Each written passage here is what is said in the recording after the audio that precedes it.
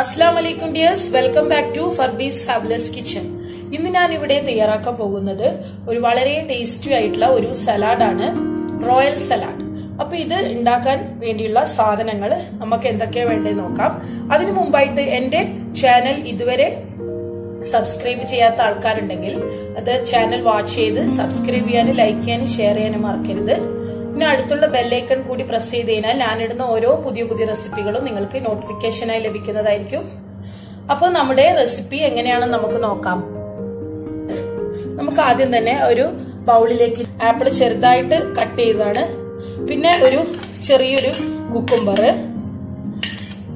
പിന്നെ കറുത്ത മുന്തിരി കുറച്ച്. ഒരു കൂടുതൽ വേണ്ട. പിന്നെ പോമഗ്രാനൈറ്റ് ഉണ്ടെങ്കിൽ നിങ്ങൾക്ക് അത് ചേർക്കാൻ സലാഡാണിത് പിന്നെ നമുക്ക് വേണ്ടത് സ്വീറ്റ് കോൺ ആണ് സ്വീറ്റ് കോൺ ഇഷ്ടമില്ലാത്ത ആരും ഉണ്ടല്ലോ വളരെ ടേസ്റ്റിയാണ് സ്വീറ്റ് കോണും കൂടി. സ്വീറ്റ് കോൺ നമുക്ക് ഇഷ്ടമുള്ളത്ര ചേർക്കാം. ഇനി ഇത് ചേർത്തതിന് ശേഷം പിന്നെ നമുക്ക് വേണ്ടത് ഡ്രൈ ഫ്രൂട്ട്സ് ആണ്. നിന്നാന് കാഷ്യൂ നട്ട് പിന്നെ വാൾനട്ട് പിന്നെ ബദാം. ഇത് ചോപ്പ് ചെയ്തതും കൂടി ഇതിലേക്ക് ചേർക്കും. ഇതൊക്കെയാണ് ഇതിന്റെ ടേസ്റ്റ് പിന്നെ നമുക്ക് വേണ്ടത് കുറച്ചൊരു ഒരു ഒരു ടീസ്പൂൺ പഞ്ചസാര. പിന്നെ വേണ്ടത് നമുക്ക് കുറച്ച് ഉപ്പ്.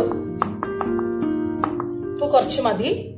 പിന്നെ നമുക്ക് എരിവിന് ആവശ്യമായ ഇപ്പോൾ കുരുമു കുരുമുളക്. നമുക്ക് ഒരു ഹാഫ് ടീസ്പൂൺ ചേർക്കാം. പിന്നെ നമുക്ക് വേണ്ടത് വിനെഗറാണ്. വിനെഗർ ഒരു രണ്ട് ടീസ്പൂണോളം ചേർക്കാം. പിന്നെ ഇതിലേക്ക് നമുക്ക് വേണ്ടത് മയോനൈസ് ആണ് മയോനൈസ് നിങ്ങൾക്ക് ഏതും യൂസ് ചെയ്യാം. മയോനൈസും കൂടി ഇതിലേക്ക് മയോനൈസ് ആവശ്യത്തിനൊരു രണ്ടോ മൂന്നോ ടേബിൾ നമുക്ക് സാലഡിന്റെ കൂടെ കുറച്ച് ഒലീവ് ഓയിലും കൂടി ഒഴിക്കണം ആവശ്യത്തിന്. ഒലീവ് ഓയിലും കൂടി ചേർത്തിട്ട് വേണം മിക്സ് ആക്കാൻ. അപ്പൊ ഞാനിവിടെ ഇതെല്ലാം മിക്സ് ചെയ്ത് വെച്ചിട്ടുണ്ട്. ഇപ്പൊ ഇതിൽ കൂടുതൽ ടേസ്റ്റ് എന്ന് പറഞ്ഞാൽ കുറച്ച് ഷുഗറിന്റെ ഒരു ടേസ്റ്റ് കൂടുതൽ ഷുഗർ കൂടുതൽ വേണ്ടാത്ത ആൾക്ക് ഷുഗർ കുറച്ചിട്ട് യൂസ് ചെയ്യാം.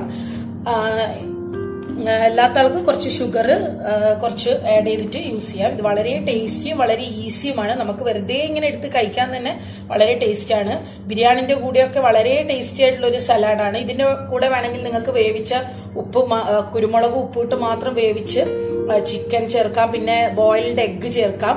അപ്പൊ അതൊന്നും ഇല്ലാത്ത വെജിറ്റേറിയൻ ആൾക്കാർക്ക് വെറും ഇത് ഫ്രൂട്ട്സ് ഈ ക്യാരറ്റ് ഇതൊക്കെ ഇട്ടിട്ട് നമുക്ക് ഉണ്ടാക്കാം. അപ്പൊ നമ്മുടെ സാലഡ് നമുക്ക് ഒരു നല്ലൊരു പ്ലേറ്റിലേക്ക് സെർവ് ചെയ്ത് കൊടുക്കാം. അപ്പൊ നമ്മുടെ സലാഡ് ഇവിടെ റെഡി ആയിട്ടുണ്ട്.